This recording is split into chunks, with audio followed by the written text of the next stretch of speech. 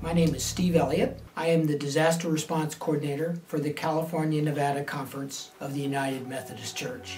We've responded to hurricanes uh, such as Puerto Rico, down in the southeast United States.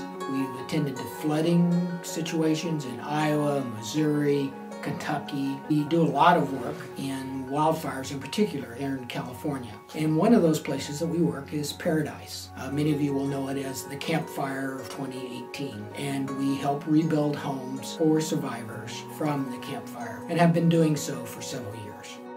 We in particular enjoy working with Hope Crisis Response Network.